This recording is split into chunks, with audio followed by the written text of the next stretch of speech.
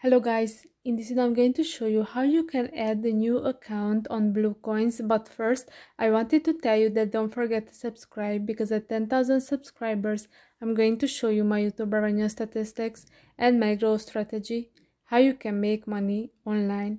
So first open the app, then go to the balance sheet and then at the top of the screen no no sorry at the bottom of the screen click on that blue circle.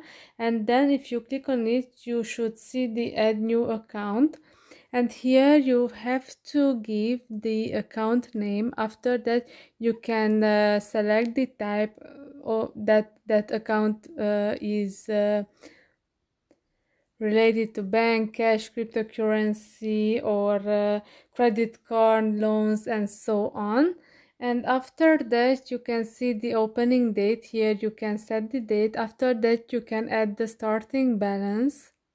Here you have to type in the starting balance and then the default currency. After that, you can uh, add or type in some optional notes and then you can select if you want to hide it from account selection or hide from account selection and or reports. And then you are if you are done click on that uh, check mark uh, icon at the top of the screen and then you're all set.